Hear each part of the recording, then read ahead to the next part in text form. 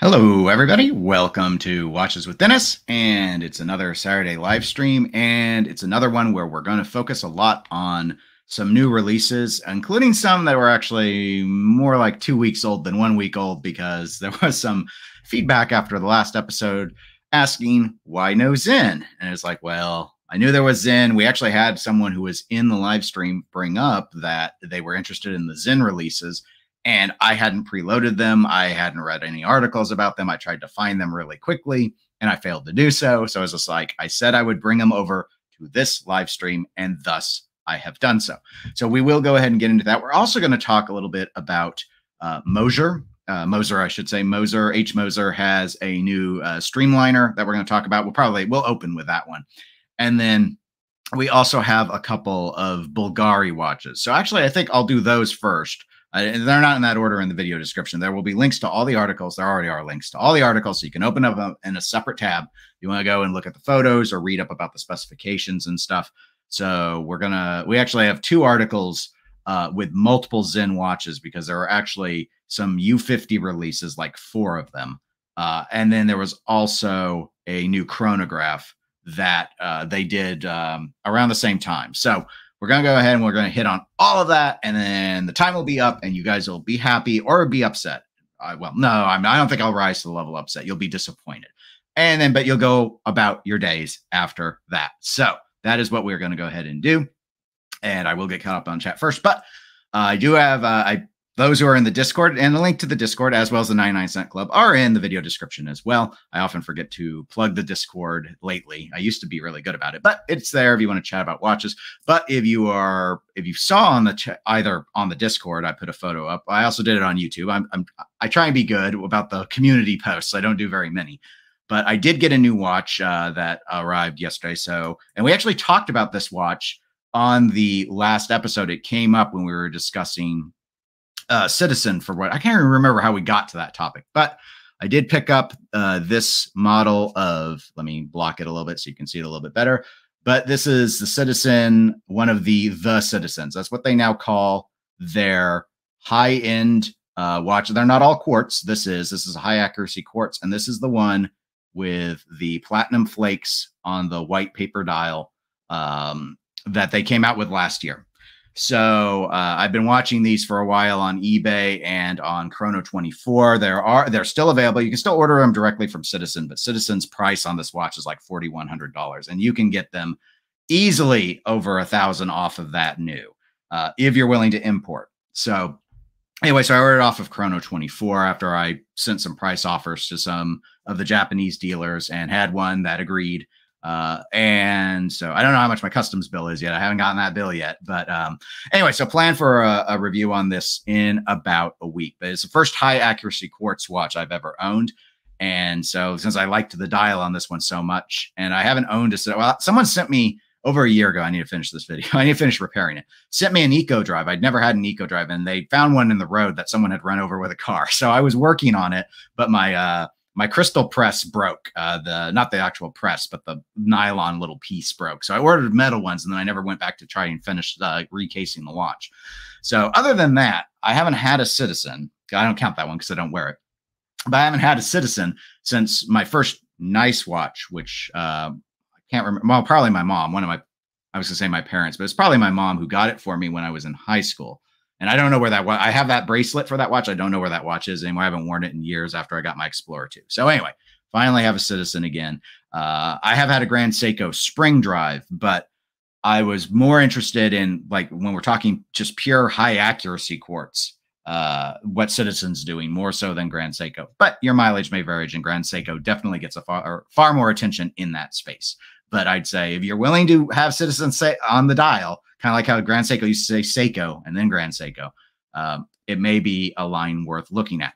But let me get caught up with the chat. So, good morning, Matthew, and thank you for being a 99 cent club member. Kevin, you weren't the first person to say good morning. You were the second. You've you've slipped you've slipped in status, but good morning to you as well. And Preetu, you've been making a lot of the live streams lately. Yes, Sinn is going to be the back half of the episode. A brand that I want to like and have struggled mightily to find a design I can get into maybe that's been resolved at this point. We will get to that in a little bit. Frank, as well, been pretty frequent to these live streams. Hello, glad you could make it. And Tuna, hi, welcome. And Koji, both also 99 cent club members, which I always appreciate because those dollars go towards me paying these customs fees for these citizen watches. So that's always very, very helpful. And thank you. Yes, the dial. Uh, there's a, I'm sure you you've probably read about it already, Koji, because I think you knew about these watches, but they do some process to spring. They have another version that uh, is that looks gold and has gold flakes. Uh, they so the bracelet here. This is not platinum. This is one of their Duratect protections. That's platinum in color. They have it in gold, and they have a few others that they have done, and that's their hardening that they put on the exterior. This is a titanium watch, so it's very very light.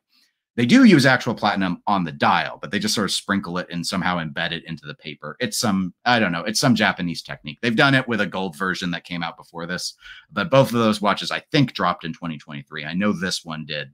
I think the gold one did as well. Uh, this is a limited run of 500, but as I noted, especially as as expensive as Citizen listed it, and it's Citizen and expensive, which is not something people are used to. They are readily available new in box uh, from dealers, and Citizen's website itself does still carry it. So, what do you win, Matthew? You you won those accolades. Did you not hear my verbal accolading? That it was very accolady. I'll I'll tell you what. You can if you I have emojis, all right? You're a 99 cent club member, so you get to use channel emojis. You can come up, this is what I'll let you have, Matthew. You can come up with a new channel emoji. I've got plenty that no one ever uses. I'm keeping the clown with the brick because everyone loves the clown with the brick. It's the most used one.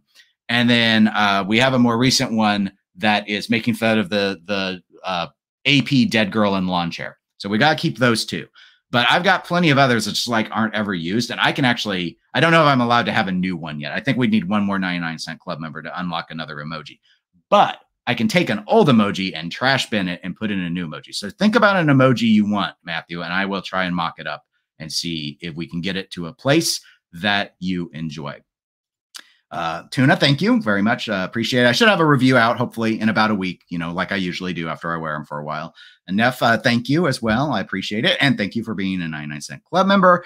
And it's funny because I use StreamYards, uh, StreamYard. So here you see, if I show this, I'm sure in the chat you actually saw all of those. But here is what I actually see in the actual program I'm using to talk. So I just see all the little uh, the little breakdown codes to it. But if I, I keep a separate window open so I can actually see what the live stream sees and create. Um, so the the first one that Neff showed and the second to last one, those are locked in. But we could probably get rid of like the Mudmaster one or the uh, EGP one, something like that. So anyway, there's plenty of sacrificial lambs. You don't have to worry, Matthew, about which one to get rid of. I'll choose that you can come up with uh, an emoji and we will as long as it's it's clean enough for youtube we will see about working it in just uh, Neff was very helpful there because they are very small. So you have to think super simple things that are easily recognizable at a distance.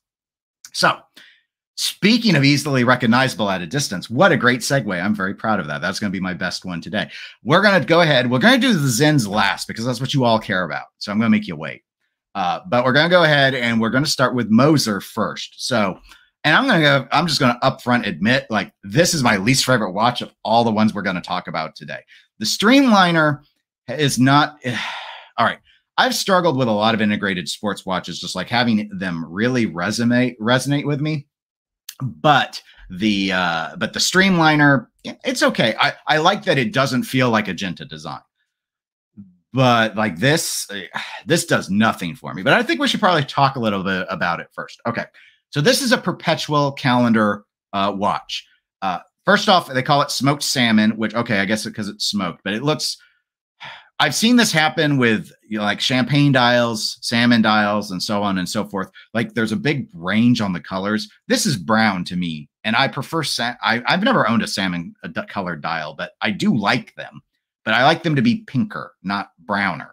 Uh, so I don't really love this brown color. And anyway, it's a perpetual calendar. So you're probably probably noticing a few hands here, and you can't tell what they're. You can't tell what they're doing because there's no markers, which is something I know Moser is fond of doing with a number of their watches, and that is why I just cannot, I cannot get behind them. But let's go ahead and, and blow this up a little bit. The link uh, to the article is in the video description. This is obviously a blog to watch. All right, hour hand, minute hand, second hand. Here at the four o'clock is the date window. This, it's hard to see. This little hand, this is the month indicator. So we're looking at, I assume, January, but that's going to tick over in the 12 hour positions to represent the 12 months. Power reserve. I don't know. The power reserve is charged further down or charged further up. You'd have to like wind the watch and find out. I don't know because you can't tell, but that's what it is. It's a power reserve indicator. Now, because it's a perpetual calendar, it does have leap year capability.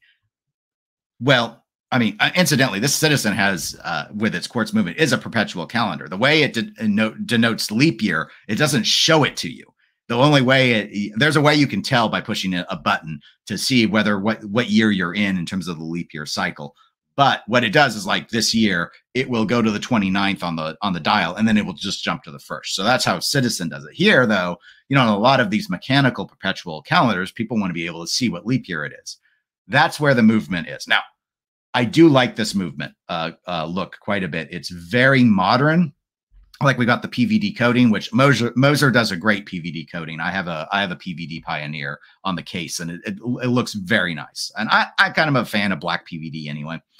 Uh, but you still have like some striping and stuff. So you've got like a mix of old and new technology here. But here it is, this little star wheel. That's what indicates the leap year. So there's one aspect of the perpetual calendar that is actually on the back of the watch. I'm not sure if a blog to watch has a close up of that uh, perpetual feature any more so than what I just showed you. That's why I'm jumping through these photos. But anyway, so that's this. It's a concept watch. So I think that means it's limited to production. I think they're only, I don't think it's a limited number. I think they said they're limiting it, it to only being built in 2024 and then they're done and it's just under 55,000 US dollars, 54,900. So go ahead and there, let you see the, the, this is the best shot with the zoom in a bit. There we go. I'll just zoom in for you guys. There you go. So uh, there's the, you can see the wheel better. That tells you what, uh, what leap year it is. So love the movement. Um, this isn't too thick. I don't think. I think they said 11, um, 11 millimeters, but that didn't include the crystal. So Moser tends to like to dome their crystals quite a bit. So I'm a little skeptical that this is going to be a svelte wear. And svelte the right word to use? I don't know. We're going to use it. Um, because this is on their bigger side. They're I mean, Moser tends to have bigger watches. So it's 42.3 millimeters in diameter. The 11 millimeters thick is great. Uh, but again, with the crystal, it might be closer to 13 or so because it's domed like they always like to do. 120 meters of water resistance, which is pretty standard for a, a lot of their watches that they do. And 2.5 hertz movement, which I thought was kind of interesting because most of their movements, I think, are three hertz. But anyway, that's what they've got going. It doesn't work for me.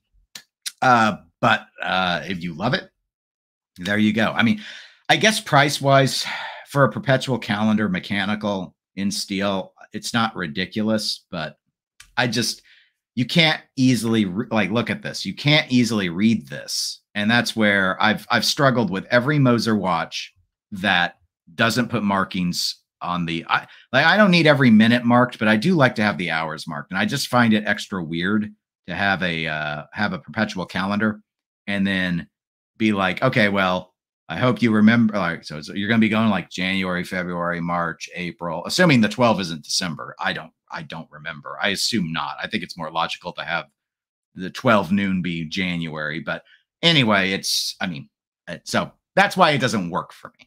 But anyway, let's go ahead and catch up on chat while you go and look at uh sorry i should say continue to just stare at this image that i've thrown up on the screen. Preetu back on the my discussion with matthew and getting to pick an emoji. Once a Ben Clymer uh, Clymer i think that's how i say his name the Hodinkee guy emoji. Maybe they already have one over there. Uh, i don't know. I don't know the rules. Uh, Neff says, I am not a fan of the Streamliner, and that is not salmon. It's smoked salmon. Neff, it's been cooked it's been cooked too. And that's the thing where I've had smoked salmon before. I don't eat salmon very much, but even most cooked salmon still pretty pink. So I don't know. I think that's I agree. I don't like it. I guess that's the best way to say it. I don't really like it.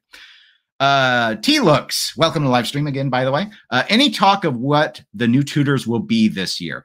Um, I haven't heard a lot out of the rumor mill other than uh, there is an expectation that we may see more color dial color iterations on the Pelagos uh, that there's some room there. Basically, if you look at what they've done with the Black Bay, that they might start doing similar to the Pelagos.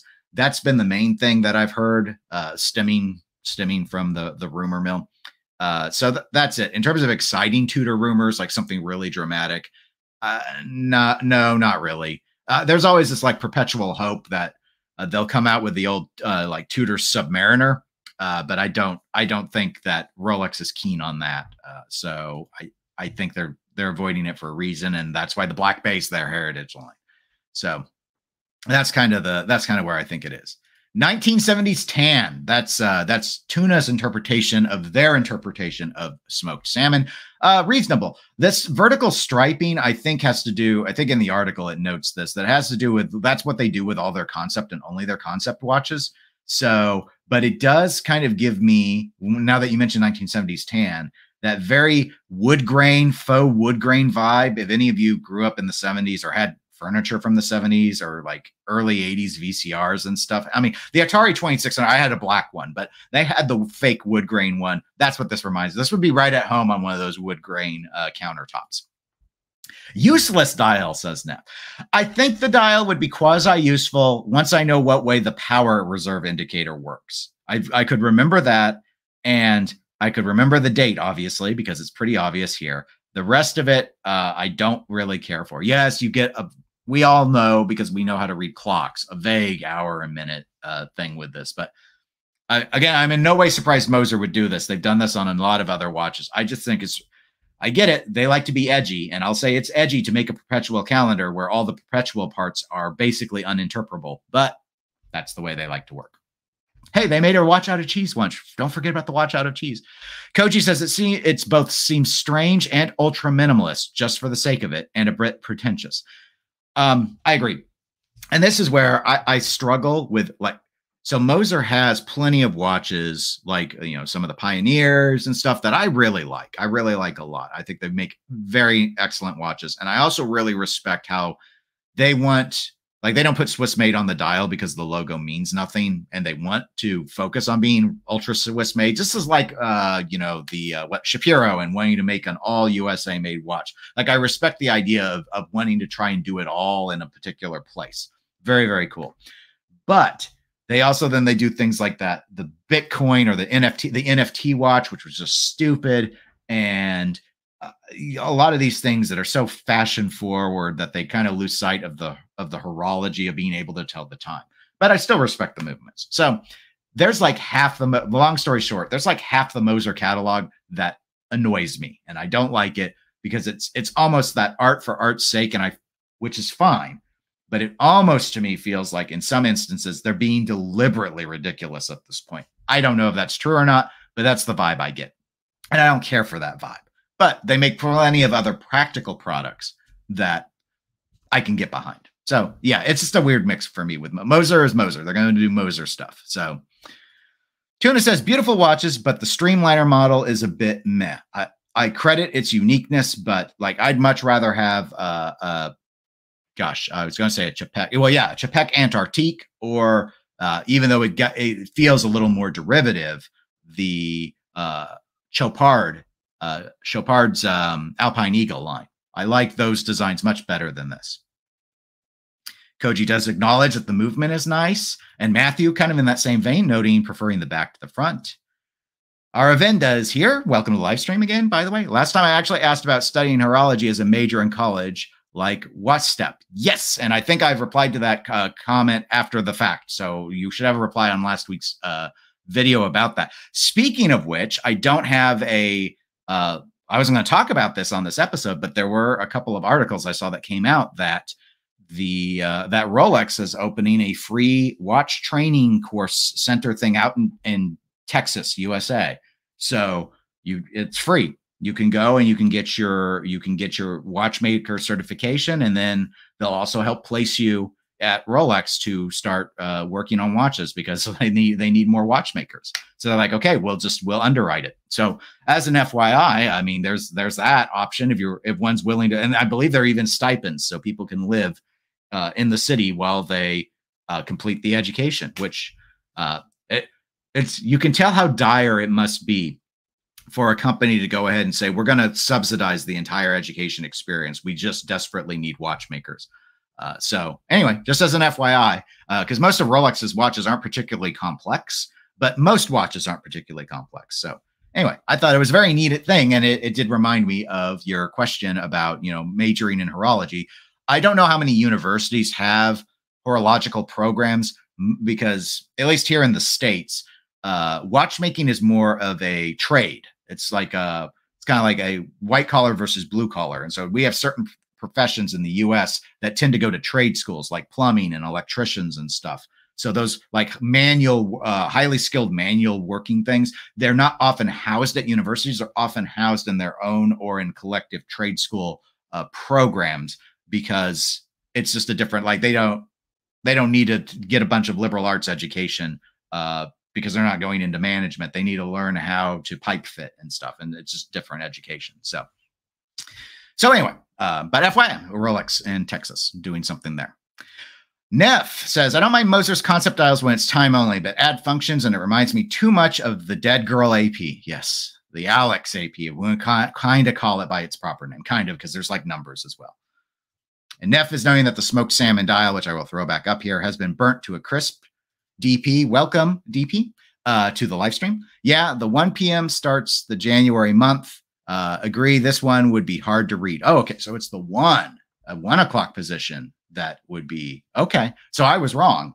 That's unfortunate because my mind doesn't want to read it that way. But but uh, on the plus side, I'm not planning to spend the forty five thousand dollars on it. So I'll, I'll, I'll survive somehow. But thank you for uh, for checking on that. Uh, Tuna says salmon makes me feel ill. I'm assuming you mean actually eating salmon. If you mean all salmon dials, you've probably had to avoid a lot of watch news sites for the last six years. Neff says I'd buy a green Black Bay 58 if Tudor made one. I haven't heard any rumors on if they're going to do that or not. Pretus asks the question calling the smoked salmon is puzzling. Is that more desirable than just brown? Is fresh tilapia next? okay. I do think that calling it uh, smoked salmon is seen as more desirable than brown because I think when you say brown, people instinctively think dirt, but I'm maybe that's just me. Arvinda says, I suggested Addy's Dive Automatic for my friend as it has a Grand Seiko level dial and an NH35, then a Sapphire Crystal through a Chinese brand. So I kind of, I think it's kind of better. Uh, you know, eh, yeah, it depends. Like I'm not as hung up uh, as a just as an aside while we're talking about watches, which is what we do here. Doesn't have to be stay on the on the article topics. Um, I'm not as hung up as some people are about the sapphire uh, dial thing, especially on uh, on less expensive watches. And I, I almost said sub 1,000, but more sub 500, I would say. Um, you know, it just it just sort of depends. Uh, the movement thing, yeah, it's generally I would just check on on again on on lower cost watches i just want the movement to be robust uh, and if it's simple enough i can regulate it myself so and i've regulated my orient. I had a vostok. I regulated it. They're not that those are pretty simple to regulate. You just look at some guides. In fact i think i have some i have a couple video guides on both of those if you want to see how i did it. Um, because those don't require screwdrivers or anything once you're in. You can just use some pegwood or toothpick if you prefer and then there's just a needle you move and you can regulate. So that's kind of what I, I look at more is if you really want it accurate, as long as you can get into it and, and mess with it yourself. Um, I'm, I'm pretty open to any of the movements. I don't really care where they where they stem from. NH35 is a pretty respected one uh, on on the more budget friendly models, though. So uh, I've heard good things. I don't think I've ever owned an NH35 myself. Might have a basically the equivalent to it in my Seiko because you know they brand them a little differently in house, but just one of those things. Um, Tuna says that Addy's dive has been noted as good value. Streamliner is not as all uh, not all the unique when you compare it to an Ike Ikepod. I don't know what an Ikepod is, Neff, but um, interesting. And okay, and Matthew's confirming it's eighteen hundred dollars US a month. Uh, that's for the Rolex school as the stipend. Okay, so let's go ahead and I will see the rest of you guys are having a discussion in the chat, which is great. And I will let you continue to do that while I hop over to the next article piece. Another ultra expensive watch. One, um, but more than the Moser? Uh, no, I do not think so. We got a couple of, we're Bulgari, right? All right. This is a brand I've never even tried on. But hey, we talked about salmon, kinda, right? We kind of talked about this type of salmon. And now we can talk about this type of salmon. This is much more of what I think of with actual salmon. Or I don't even know what Bulgari called the salmon. What did they call it? I don't know. But anyway, these are the a uh, couple new uh, Bulgari Octo Finissimos, these automatic Octofinissimos. So these are very thin watches, uh, which is why I would like to try one on at some point because I've heard a ton of people say that the Finissimo does not fit well on on a lot of wrist shapes, and I'm just curious whether it would fit well on me or not. I'm not sure I actually like the design shape. Or excuse me, I'm not sure I would like to wear the shape. I do like the look of it. I'm not, I'm not sure it would be like a. I'm not sure it's a dentist watch uh, at all, but but I think it's interesting. So anyway, I do like how thin they are. So anyway, we've got a gold version with blue which you can see here currently on the screen. And then we also have a stainless steel model that is in what I would have called salmon. Now, I was going to check to see what they went ahead and called these. Uh, now, one of the things I thought was interesting about the gold one, it's actually in yellow gold, which seems to be becoming somewhat more popular again uh, after going. I felt like yellow gold. I really, ever since VC dropped Vacheron, dropped the new 222, it feels like other watch brands are leaning into the yellow gold again. excuse me, which I I like in smaller watches. Uh, so of course we talked about Polo's, uh, excuse me, Piaget's new Polo watch. Um, that was very much 70s inspired. That's in yellow gold. So you've got that here, but I think more people are going to be interested for for affordability, of no other reason, in the stainless steel model, which I must admit, in a lot of ways, may be the more attractive watch anyway. I think you you can appreciate the brushing a little bit better. Um, I think the radiant dial, uh, of course, we're zoomed in more here than we were on the blue. The blue looks really good, I got to admit. But um, these are 40 millimeter watches and they're very thin. They're like six and a half millimeters thick. So that's where the Finissimo comes in. But with that, it's hard to describe how thin that is. Uh, that's like probably almost half uh, the the size of my thinnest watch I think I currently own. Um, platinum rotor movements on both, I believe. Uh, pretty, uh, you know, it's an attractive movement. Uh, you know, standard Geneva uh, striping, uh, and it's mostly bridge work because again, it's uh, it's an automatic, but they do wedge in an, uh, a micro rotor into that build to get it all as thin as they can. So overall, I actually like the look of both of these. I don't know if I would like how they wear. Um, sunbrushed metallic salmon. Okay, that's what they they are calling this version. Sunbrushed metallic salmon. I don't care what the other one is. The other one is yellow gold with blue. I think we can we can all agree on that. So I actually like this dial look quite a bit. I like that it's a little uh, creative with going with this sort of 730 position uh, small seconds.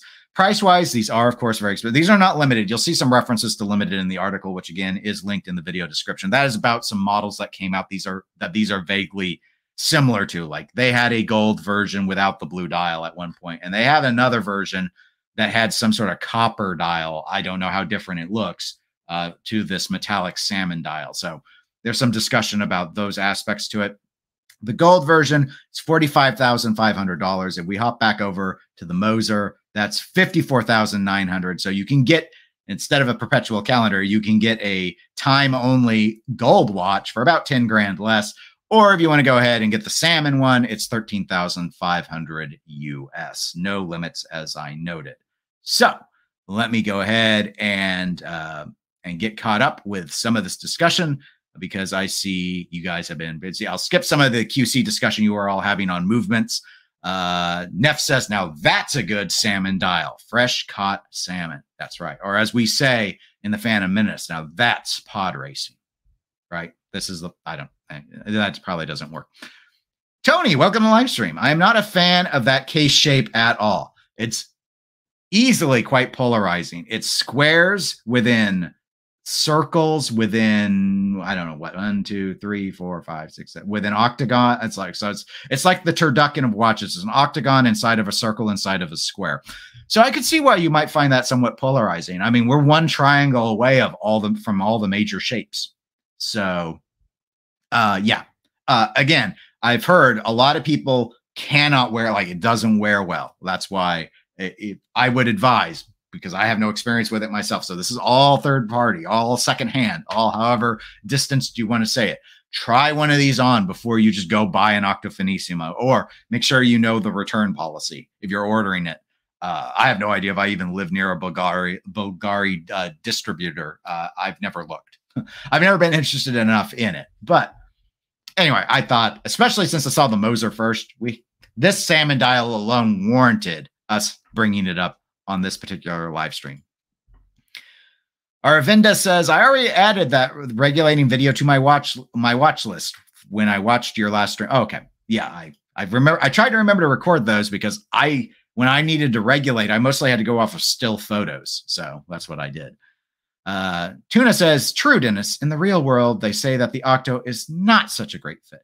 The Octo Finissimo, I need to be specific because I think they have some other Octo line watches that aren't the ultra thins, and I haven't heard the same complaint about the wearability. Scott, welcome to the live stream. If I haven't said hello yet, because I think this might be your first post currently. And uh, also, for, thank you for being a 99 cent club member. I tried the Octo on at the authorized dealer. They look beautiful, but I wasn't a fan of how it wore. Uh, and you are, I've heard some other uh, watch podcasters who have who have mentioned uh, mentioned that. Aravinda asks $1,800 in Rolex. It's $1,800 a month of a stipend if you go to their training school to become a watchmaker in Texas in the United States. I forget which city it is in Texas. Dallas, maybe. I would guess Dallas. That's kind of like where all the money is in Texas.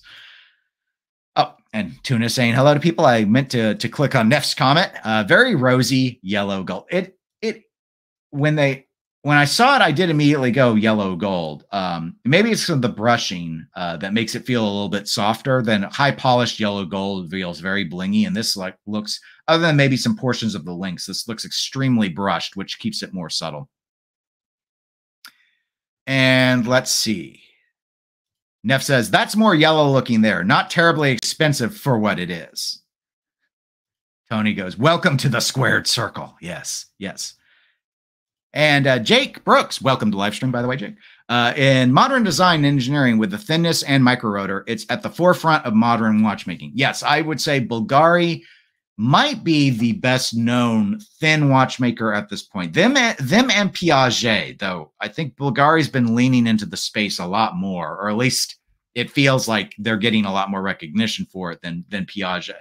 But uh, Piaget still has their thin watches. They're they're the two that I kind of think of at this point as being really big on the on. We're talking ultra thin mechanical watchmaking. But we've seen other brands play around with thinness as well, uh, or lightness, or size changes, all sorts of interesting sort of things. But yes, I Bulgari is who I always think of it with thinness at this point. And Neff says, I like the Octo. I just wish they made a smaller version but they really can't. The movement is quite big. Yeah, I now that's a that's a plus side. We aren't whining about how the movement doesn't fill the case back uh, like we do with a lot of other watches. But of course, at these price points, the movement should be relatively snug fits into these cases, at least in my opinion. Hmm. So, all right, we've gone through the ultra expensive stuff, right, guys? Let's jump to what you all really wanted to talk about, and that's Sinn, because I neglected to discuss them last live stream. My wrists were slapped with many a ruler for ignoring a fan favorite brand, a brand I have never owned. And as I've said on a number of videos, a brand I have struggled to get behind. Sinn is my, I was going to say my German version, and then I almost said of Nomos Glashütte, which is also German. Thus, maybe I just have a German problem where there are brands and I they they fell into a list of mine. I did this, oh gosh, maybe two years ago at this point. I had a list of brands I want to love and I can't. And Sinn has always been one of them where I've struggled to get behind a number of their design choices, at least the ones I hear people talk about. And I don't know if you've ever been to Sinn's website, but it might be the worst website in all of watchmaking. That website feels like it's straight out of GeoCities from the late 90s. I don't know why they don't fix it. But we're not here to complain about their website. We're actually going to talk about two Hodinkee articles. Again, links in the video description so you can go and read up on them. We're going to start with what I think is the less interesting, but I'm going to say I like the look of this watch. So, in a way, uh, I wanted to talk about it anyway. And that is this new chronograph that they have come out with. This is the 103 ST. I don't know how to say this. I'm going to, so I'm going to say the letters. The 103 ST TY HD chronograph. So, it's a manual wind chronograph, so kind of getting some Omega vibes there. Uh, not that thick though. Uh, it's it's just under 15 millimeters thick. uh, 41 millimeter watch, pretty familiar uh, tri register setup. This is a limited edition watch. Uh, they're making a thousand of them, and it comes in at two thousand eight hundred and seventy dollars US. So here's some. We got we got to get some watch porn going on. So let's look at the close up photos. Again, you can go and explore those properly uh, at Hodinkee, and I do have the link to the to the uh, article in the video description. So I uh, I like uh, dial designs on chronographs. Now I'm not a big chronograph person. I own all of one chronograph, and that's been plenty for me. I do like the way a lot of them look if they do it in a relatively tasteful means, and so that means no uh, cropped hour numerals. Uh, I hate that on watches in general, but it's very common to do with subdials. Uh, this watch avoids that, as you can see. They've used applied indices so that uh, that gets around that. Uh, my rule is cropped Arabic are the worst. Cropped uh, Roman numerals are not as annoying, but I probably I'm still at the point mentally where I would never own one. Uh, and then if you want to crop and shrink down the size of an applied indice, I'm fine with it. So anyway, so you've got that. They're they're they're not overlapping, which you can overlap subdials, but these are nicely cleanly spaced, very legible, which I do like. Um, it's got the non screw down limited lume. Maybe that'll be an issue for some people. I don't really care about the lume on that. We closed case back, so you won't be looking at the movement. It uses a Sellita movement uh, for the hand wind feature. Uh, again, this is under 15 millimeters. That's with this very generously domed uh, crystal that is applied to this watch. So I was impressed at how thin. I don't want to imply 15 millimeters is thin. It's not. You can get, again, you'll pay a lot more, but Zenith will give you an automatic chronograph thinner than this. But part of that is going to be this how generously domed the crystal is. I really like the uh, kind of this metallic uh, dial treatment that they've gone with with the black, and I just think it's a very very clean, nice looking execution, and uh, definitely doesn't break the bank for a mechanical chronograph with a Swiss movement in it, for that matter. So we'll jump down to the. I thought maybe there was a a spec sheet here. Apparently not. So I just got all the numbers from the from the body of the article. But anyway, uh, I think it looks really nice. Uh, would I buy it? Probably not. Um, I don't because I don't really see the need for another chronograph at this time. And if I I got one, I'm not sure if I'm good with ma- the idea of a manual wind chronograph. I've never had one. Uh, and so that would my gut would be to buy a cheap, even cheaper one and try it out, like maybe one with a seagull movement and see if I liked it. But uh, aesthetically, I think this this is a very very nice looking watch. Uh, I don't think it feels too busy, even with the the tachometer. I think it it's all put together quite nicely. So anyway, those are my thoughts. But let me go ahead and see what you all think. So Scott says the hands on this model look better than some others in their catalog, and that ooh, you get a clap, Scott. That is where I've always struggled with Sinn. They they have too much fun I know, oh, this how Dennis doesn't let you have fun. They, they have too much fun with their their hands and their indices. I, I've made, I think we had Patrick on one time on a live stream panel uh, from Pocket Watch Time, which you should go check out if you haven't, uh, his channel. But like, I think he likes, like, as I'll do a lot of people, some of the watch dials that to me feel like they're made with Lego pieces. Like they look like Lego shapes. That's what they remind me of. And I don't like that look, but a lot of people do. This is a much more traditional handset, obviously, and that's probably why. As you all who have seen my channel a number of times know, I tend to lean very conservative on designs, especially with new watches, and I may warm up to more avant-garde stuff over time, but um, I just like really, really clean looks as a general, like gut instinct sort of thing. Otherwise, you have to see if the watch will grow on me or if it won't. Tuna says Sinn is one of those brands that they rave about on the net, but I have yet to see one in the real world. And I think part of that, Tuna, is I don't, and someone please correct me because uh, now I'm speaking way well out of turn. I don't think they have distributors. I think it's kind of like Stowa, where you, if you want a Sinn, you buy direct, and then your only other option is to buy used if someone's trying to get rid of their Sinn.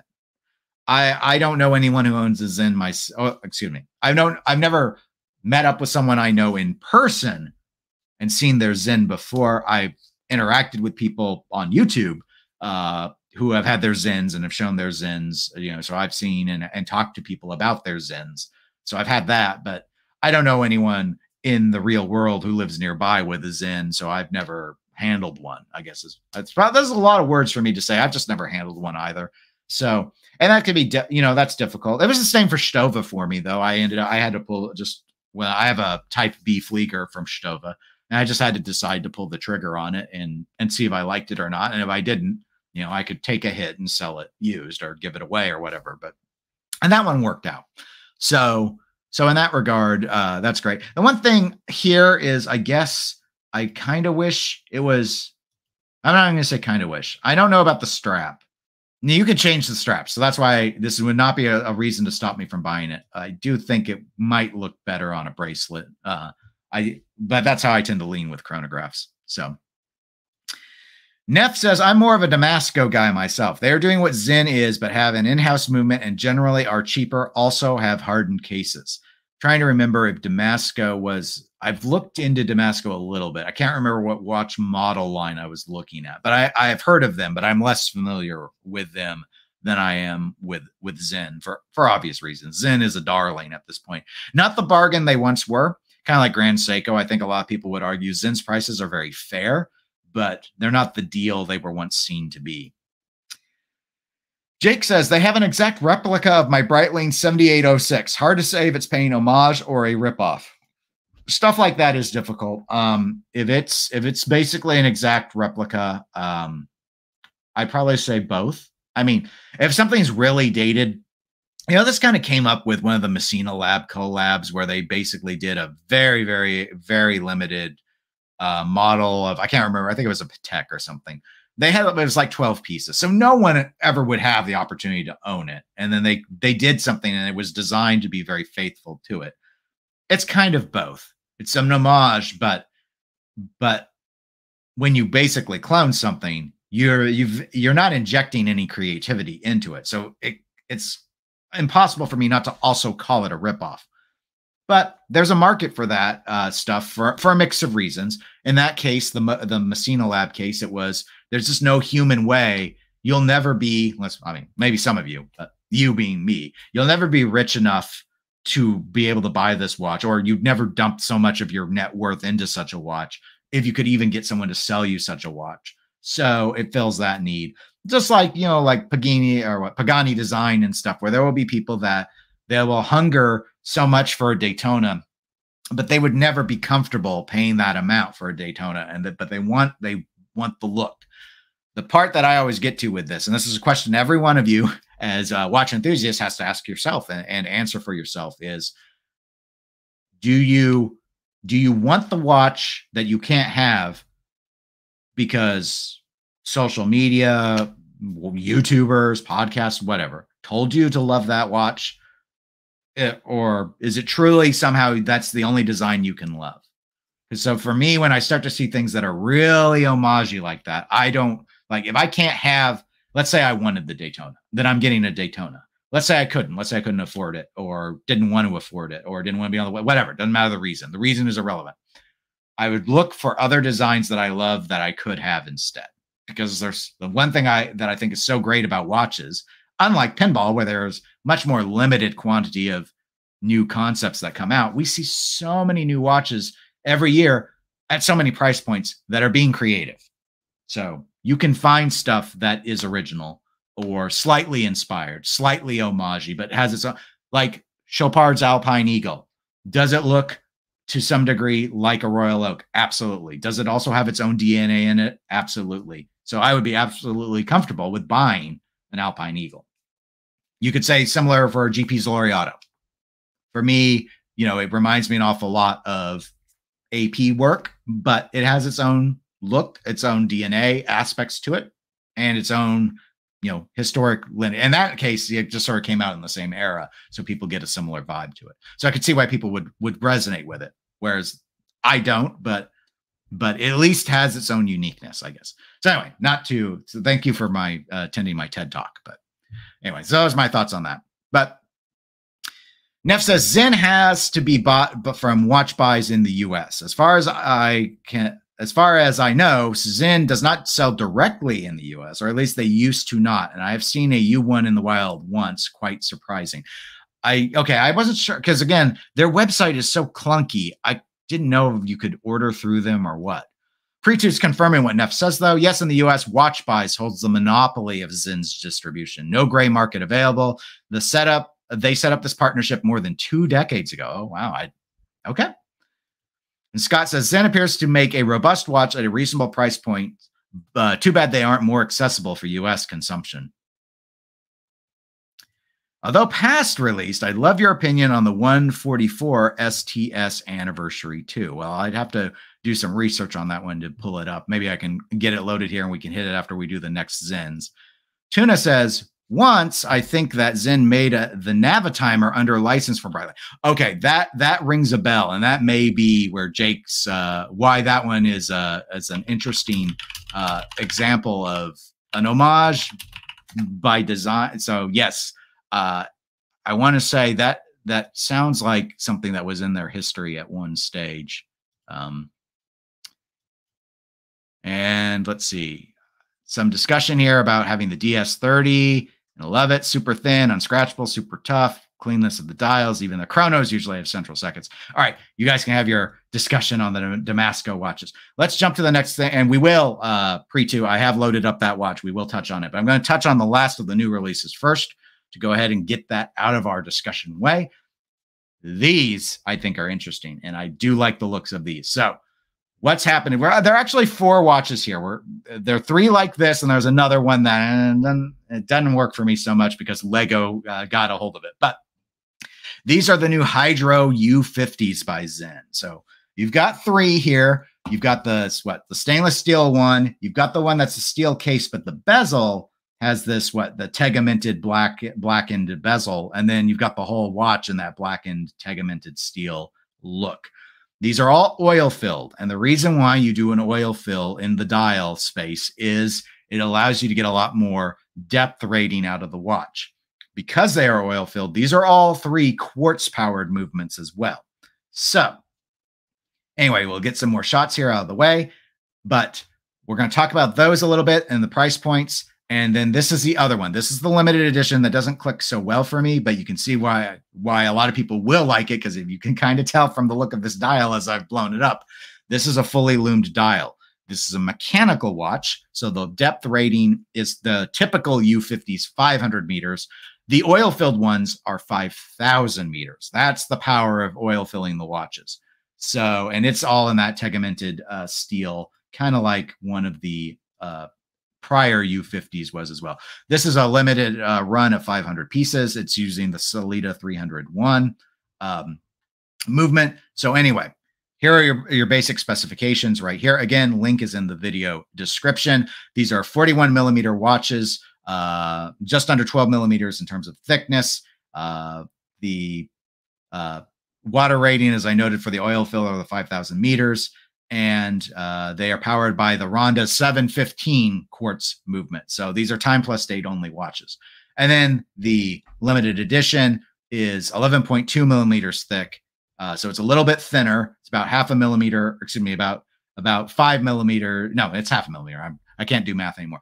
It's about half a millimeter thinner than the oil filled ones. Uh, same diameter though of the 41 millimeters, and you're doing the whole German submarine steel. But this one, as I noted, is all black hardened uh, tegiment coated, whereas only one of the prior ones was. And so all the rest, as I know, the 300 uh, dash one Sellita movement for it. So pricing on these varies. So the non-tegimented one is your cheapest option at, at starting at 2,560 US dollars. And that goes all the way up to the um, what 3,000 uh, or $2,860 for the fully tegimented oil filled one. So just under 3000 US. It's more like $3,500 US if you want the limited edition, which you can see has this very impressive glow. I hate these markers, the Lego markers and the Lego hands. So that's why I've never clicked with the U50 by and large, because that's what I always associate with it. But as you can see with the oil filled ones, these are very, uh, you know, more traditional sword hand styles. And I like that style. I used to have a dive watch with that style, and you know the markers and everything else, and um, you can't really uh, because it's completely filled with oil. You can't really see that it's got oil. My understanding is that that makes it a very interesting visual effect in terms of legibility under the water. So if you actually swim, these oil filled things are very, very niche. And no one needs 5,000 meters of water resistance, but we don't need to talk about that. Everyone in the world is going to talk about that. But overall, I think it's a pretty impressive uh, look. Uh, I mean, I don't know if I get the steel with the tegimented bezel. It's probably my least favorite one. Um, and you can get these with bracelets, by the way. It's not just the all tegimented one. I'd say though, because I do like the black PVD look in general, like I have Moser like that. Um, I was looking at a at a, a Junghans uh, quartz watch that's that's kind of like that. This, you know, like the black ceramic. Um, this I would probably be my pick, even though it's the most expensive of the three. Though this one uh, in all steel uh, would look good too. So favorite, second favorite, third favorite, wouldn't buy, but Lume Lume fans are gonna like Lume fanboys are gonna eat this one up. So anyway, so those are those are the uh the dive watches that Sinn dropped about a week and a half ago, I guess. Uh that I actually do like the look of quite a bit. So that's kind of where where I'm at with that. Let's see. Catching up with the chat. Neff says, I think Sinn also used to make cases for A. Lange & Söhne. I Could be wrong, but I think I heard that once. I've not, I'd never heard that, but but I have no idea. Neff continues 5,000 meters diver under 20 millimeters thick. Who knew it could be done? Don't tell Rolex or Omega. Well, you see, I was gonna I was gonna say they don't want to sink to using quartz. I don't know if you can do. I I'm gonna say you can't. Maybe there's a way that you could pull off a oil filled case with a mechanical movement and somehow prevent the oil from running into the mechanical movement and causing problems probably not worth the risk, quite frankly. Um, but Rolex has done quartz in the past. Obviously, oyster quartz was was a thing for quite a while, and Omega still does quartz, I believe. Maybe it's just in the the late some of their ladies' watches, but so I was gonna say they probably think they're too good to to use this solution, but but yes, it's such an elegant it's such an elegant way of, of, of getting the depth rating up to ridiculous levels that it does feel kind of like the old that old story about the you know the U.S. Uh, in, for the for the moon uh, space race and the moon landing, getting all that stuff ready, and so NASA invested like all this money and to develop a, a ballpoint pen, an ink pen that would work in space, and the Soviets just used a pencil, sort of thing. And it'd be like, you know, sometimes the simple solution is the right solution, which does remind me Vostok and the Vostok dive watches and how they achieved their water resistance rating was with this sort of simple principle with their acrylic case, excuse me, crystal, and how as the depth pressure increases, it expands and flattens out, providing the additional depth rating. So it gets actually more resistant the deeper you are. And that's how they were able to do it on the cheap. But people don't want to do that. They just want to make big old hockey pucks. They're all hockey fans, Neff. That's what they all are. Tuna says they look like excellent tool watches if that is your thing. Tuna, you made it sound like it's not your thing. Why do you hate tool watches, Tuna? What's wrong? What are you why are you thinking? Here's my biggest complaint with these. How many fonts can you identify on this dial? That's there's no excuse. Affordability is no excuse for inconsistent fonts. So we've got this quasi script look for Sinn. Then we've got this hydro between the lines, which I I don't think the U50 is just the bolded version of these letters, but I'm not sure because the letters are all different. So maybe that's the same font and one's just a, a, higher font size and thickness, but I think they're different fonts. So one, two, three, and then made in Germany is the fourth font. That's not the same font. So it's stuff like that that we tend to see in the more affordable space, which is just goofy. Like no you can use multiple fonts but it needs to be done like i wouldn't necessarily fault them for Sinn being in one font and the rest of it being in something else but uh, it's a minor quibble i'd still buy the watch even with this i, I want to whine about something so that's something to help i'm helping you out tuna that's the thing the tool watch is just they just been like let's just play with a bunch of different fonts Tuna notes 5,000 meters. Not even a tuna could go that deep. Well, and survive, but the, your watch would be okay. So just think think optimistically. Neff says resonance uh, uses mechanical movements in oil-filled watches, but here it would negate the 5,000 meters of water resistance. Ah, I, you know what? I shouldn't have even forgot uh, about resonance. I've looked at a few of those because they're very like the way the dial moves, very, very cool. And I knew those were oil filled. Um, so I should have thought about that, but I didn't. But thank you for bringing that up. Preetu says, might like the U50 professional, if not partial to the red hands. Yeah. So let's jump to the to this the request, right? This was the request, Preetu's request that he popped up. Wanted opinions on the 144 STS anniversary too. So here we go. You now get to admire the horrid website that is Sinn. I mean, guys, you see it off on the side. Look at this. This is some this is some 1990s BS. This this is not how people want. I get it. We're in the archive. I don't care. The whole site is horrible to navigate. Absolutely horrible. I don't even think these images expand. Maybe this.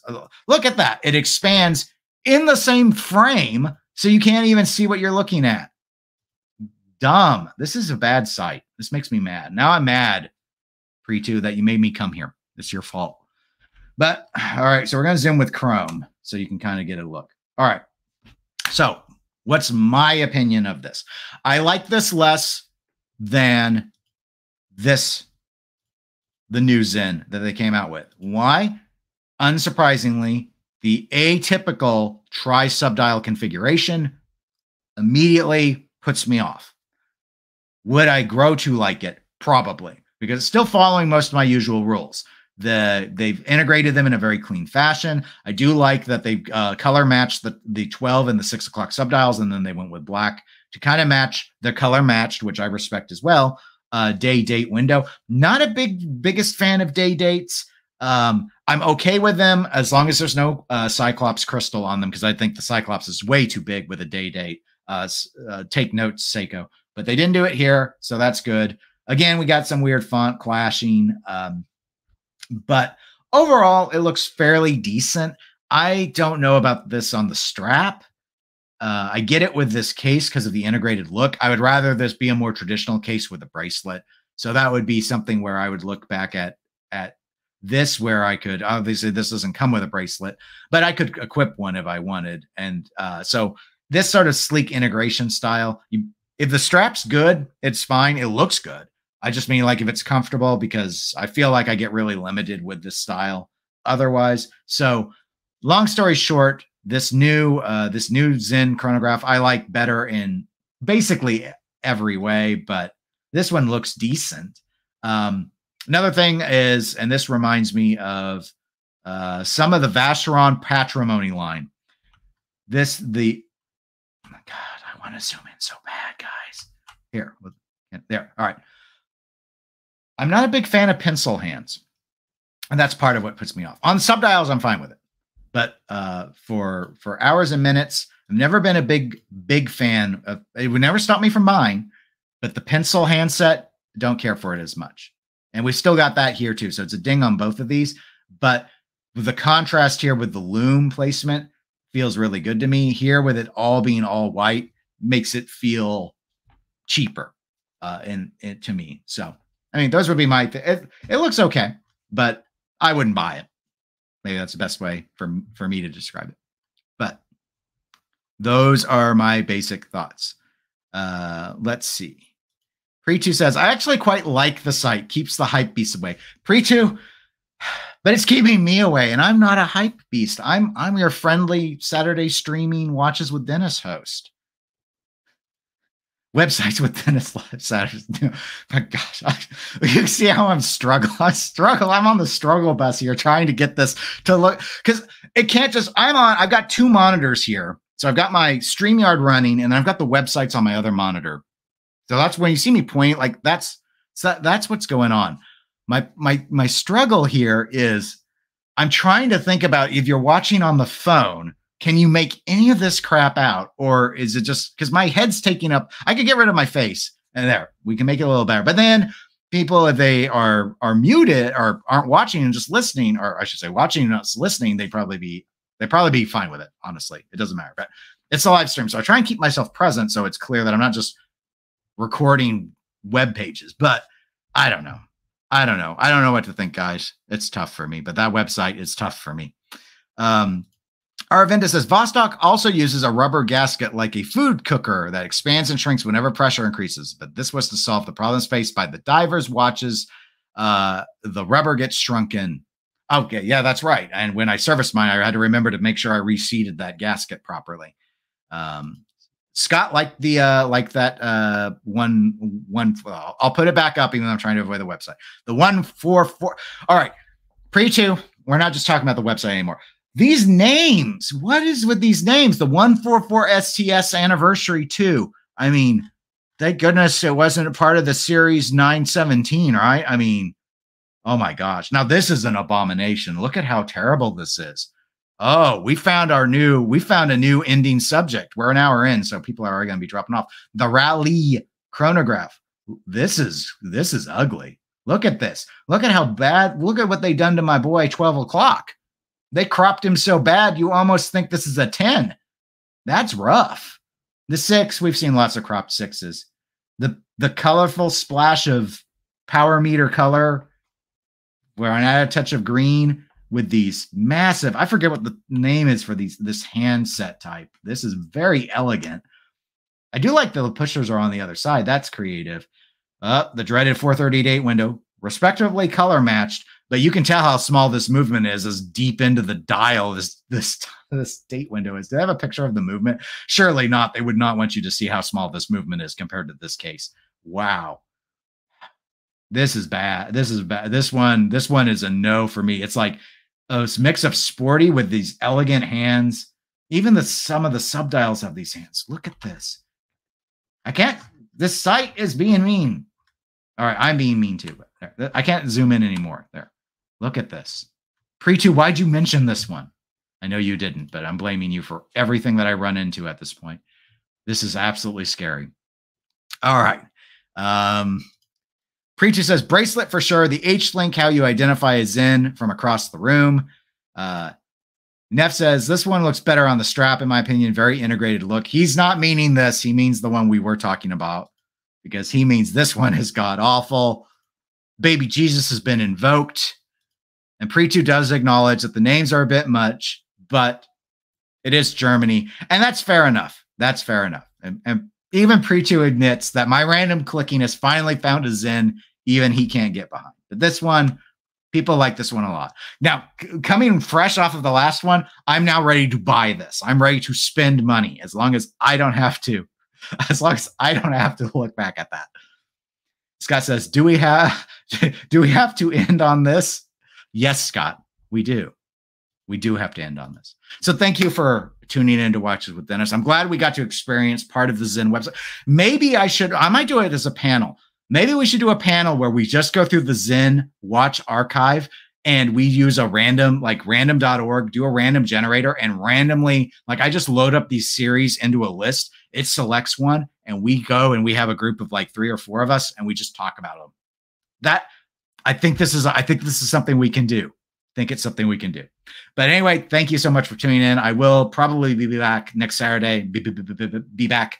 Um, I don't think I have any work travel events to get in the way of it. Uh, I might have the review of the Citizen out uh, by then. Not sure. Uh, usually I do about a week out, so that'll be the plan. Uh, might have if we see some interesting announcements. I might do some pre-recorded stuff. We'll just have to wait and see on that, of course, because I don't know what's coming out yet. But until next week, at the very least, I'm Dennis. Thanks for tuning in, and I'll talk to y'all on the next one.